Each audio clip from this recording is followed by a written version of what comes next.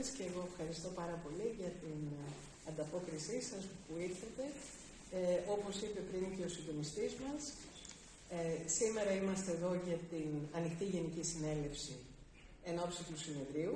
γιατί όπως γνωρίζετε από τις 22 μέχρι τις 25 Φλεβάρι θα διεξαχθεί το τέταρτο συνέδριο του ΣΥΡΙΖΑ Προεδρευτική Συμμαχίας σε μια ιδιαίτερη κρίσιμη περίοδο και συγκυρία τόσο πολύ για τον τόπο, για την κατάσταση στη χώρα μας, αλλά φυσικά και για την προοπτική και τη δυναμική του ίδιου του ΣΥΡΙΖΑ Προοδευτική Συμμαχία. Ε, ο στόχος του προσυνεργειακού μας διαλόγου είναι η επανεκκίνηση, η ανασυγκρότηση, αλλά και η εξωστρέφεια. Και γι' αυτό το λόγο έχουμε αποφασίσει και πραγματοποιούμε ανοιχτές ε, γενικές συνελεύσεις προσυνεργειακού διαλόγου, και συνδυάζουμε όλη τη συζήτηση για το συνέδριο με μια σειρά από σημαντικά γεγονότα,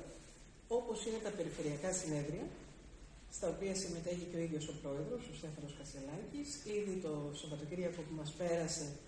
διεξήχθη το πρώτο περιφερειακό συνέδριο στην Κοζάνη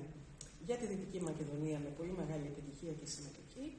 Και το Σαββατοκύριακο που μας έρχεται, πάλι με την παρουσία του Στέφανου Κασελάκη, θα γίνει το αντίστοιχο περιφερειακό συνέδριο στη Θεσσαλία, όπου όπως καταλαβαίνετε αυτό το συνέδριο έχει και μία διπλή και μεγάλη σημασία, αφενός γιατί βρισκόμαστε μέσω μεγάλων αγροτικών κινητοποιήσεων και η Θεσσαλία είναι στην καρδιά του αγροτικού κόσμου, αλλά και επίσης γιατί η Θεσσαλία έχει υποστεί και αυτή την τεράστια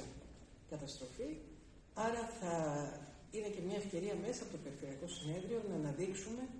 και τις προτάσεις μας και για την περιφερειακή ανάπτυξη, αλλά κυρίως για την ανασυγκρότηση της ίδιας της περιφέρειας της Αλίας. Ταυτόχρονα έχουμε σε εξέλιξη δύο μεγάλες καμπάνιες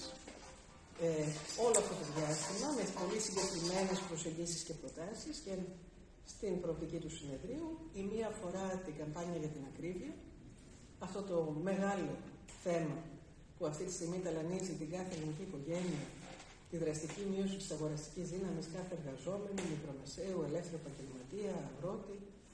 ε, και βέβαια με την αδράνεια της κοινωνικής πολιτικής, όπου ούτε αποφασίζει τη μείωση των έμεσων φόρων και τους αποτελεσματικούς ελέγχους στην αγορά, ούτε στηρίζει ουσιαστικά το εισόδημα μέσω των μισθών ε, όσον αφορά τον κόσμο της εργασίας. Πρέπει να σας πω ότι με τα στοιχεία ε, που έχουμε σήμερα, η χώρα μας έχει την τρίτη χειρότερη θέση στην Ευρώπη όσον αφορά τη μείωση της αγοραστικής δύναμης που κάθε εβδομάδα επιδεινώνεται αυτά τα τελευταία τρία χρόνια αλλά επίσης και με τα στοιχεία της απασχόλησης που έχουν δημοσιευτεί οι μισές θέσεις εργασίας, οι καινούργιες, είναι ελαστικές μορφές εργασίας, μερικής απασχόλησης και με πολύ βέβαια χαμηλούς μισθούς. Δηλαδή